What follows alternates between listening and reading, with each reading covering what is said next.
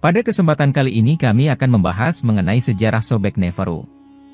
Sobek Neferu adalah ratu misterius yang memerintah Mesir kuno sebagai Firaun wanita selama dinasti ke-12 Kerajaan Tengah.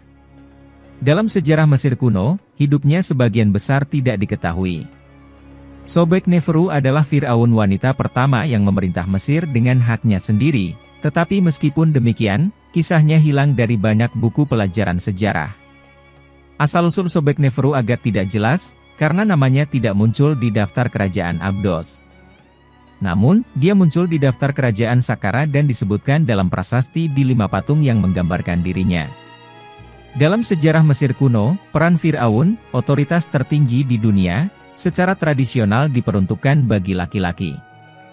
Fir'aun dipandang sebagai perwakilan para dewa dan perantara antara alam ketuhanan dan alam manusia, bertugas menjaga ma'at, atau keselarasan dengan hukum alam dan keseimbangan ko sebelum masehi. Fir'aun juga diidentifikasikan dengan Horus, dewa berkepala elang dan putra Isis dan Osiris, yang dianggap sebagai dewa terpenting dalam jajaran dewa Mesir kuno. Meskipun ada banyak ratu, istri, dan ibu Fir'aun yang memiliki pengaruh dan kekuasaan yang signifikan di Mesir kuno, hanya sedikit wanita yang dapat memerintah sebagai Fir'aun dengan hak mereka sendiri. Sobek Nefru adalah salah satu dari wanita ini, dan namanya berarti, kecantikan Sobek. Diakini bahwa Sobek Nefru adalah putri Amenemhat III dan mungkin saudara perempuan atau saudara perempuan tiri Amenemhat IV, yang mungkin menikah dengannya. Sobek Nefru dikenal memiliki beberapa gelar, termasuk, yang dicintai Ra, Lady of the Two Lands, Daughter of Power, Eternal of Radiant Apparitions, dan Taking of Upper and Lower Egypt Sobek Neferu. Menurut papirus kerajaan Turin, Sobek Neferu memerintah selama kurang lebih 3 tahun, 10 bulan, dan 25 hari. Ada juga referensi tertulis lainnya tentang ratu, seperti prasasti di prasasti penguburan yang menyebutkan dia sebagai putri raja. Diperkirakan bahwa Sobek Neferu naik tahta setelah kematian saudara laki-laki atau suaminya, Amenemhat IV, dan memerintah hingga akhir dinasti ke-12 dalam sejarah Mesir kuno.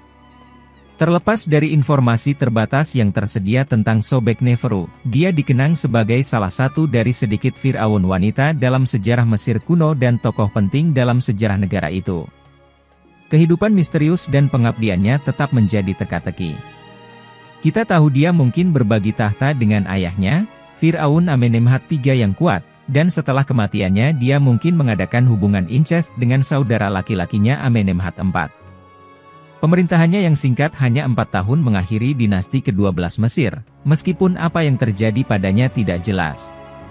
Apakah Firaun wanita pertama Mesir meninggal karena sebab alami atau menemui ajal yang sulit, tidak tercatat di mana pun. Namun ada beberapa bukti peninggalan dari Sobek Neferu. Ada apa saja? Untuk lebih memahami warisan abadi Sobek Neferu, kita perlu memeriksa monumen yang secara langsung atau tidak langsung terkait dengannya, karena ini dapat memberikan petunjuk tertentu mengenai tindakannya dalam hidup. Salah satunya pada Oasis El Fayum, pusat kekuasaannya sekitar 80 km selatan Giza. Di sini, di sebelah Birket Quran, Danau Moeris kuno, terdapat kota Shedet, yang oleh orang Yunani disebut Crocodopolis, kota buaya. Didirikan awalnya oleh Raja pertama dinasti ke-12, Amenemhat I, kemudian menjadi pusat pemujaan Dewa Buaya Sobek pada masa pemerintahan Amenemhat III dan putrinya Sobek Neferu. Ini termasuk sebuah kuil di mana seekor buaya hidup disembah sebagai wujud inkarnasi dewa. Situs Cocodopolis sesuai dengan apa yang sekarang menjadi kota Medinet El Fayum di jantung Oasis El Fayum. 7 km, 4 mil, ke tenggara adalah Hawara, situs kompleks piramida yang dibangun oleh Amenemhat III. Tepat di sebelah selatan piramida utama, Raja menugaskan pembangunan monumen penguburan yang sangat besar bernama Amenemhat An, kehidupan Amenemhat. Berbagai prasasti yang ditemukan di situs tersebut memberi bukti bahwa Sobek Nefru menambah monumen yang ada pada masa pemerintahannya sendiri. Sejarawan Yunani Herodotus, 484-425 sebelum Masehi, yang mengunjungi Mesir sekitar 455 sebelum Masehi melihat sendiri kompleks yang luas ini dalam perjalanan ke Danau Moeris. Dia menulis, Tidak ada kata yang dapat mengatakan keajaibannya. Jika semua yang telah dibangun dan ditempa oleh orang Yunani ditambahkan bersama, keseluruhannya akan terlihat sebagai masalah tenaga kerja dan biaya yang lebih sedikit daripada labirin ini. Labirin ini memiliki sekitar 1.500 set ganda, kamar total 3.000, dan di bawah tanah ada kamar-kamar bawah tanah yang berisi kubah pemakaman raja-raja yang pertama kali membangun labirin ini, dan, mereka, buaya suci, Historias, 2, 148. Kehadiran buaya suci di dalam labirin besar Mesir memperjelas bahwa Sobek adalah dewa utamanya. Penggalian yang dilakukan di sana pada tahun 1910 oleh arkeolog Inggris Sir Finders Petrie menemukan beberapa patung dan relief Sobek yang menegaskan perannya sebagai dewa utamanya.